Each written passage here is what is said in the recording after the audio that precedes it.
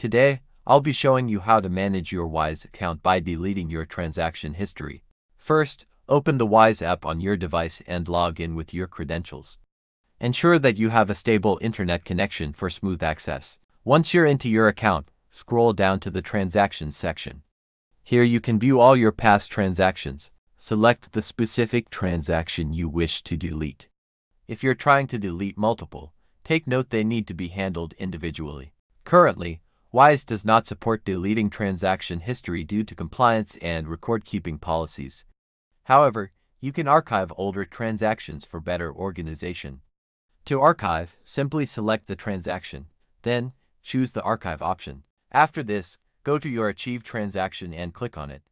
Here you will see an option to delete the transaction. Press the delete button to confirm you want to delete the transaction and both the transaction and the receipt will be deleted from your Wise account.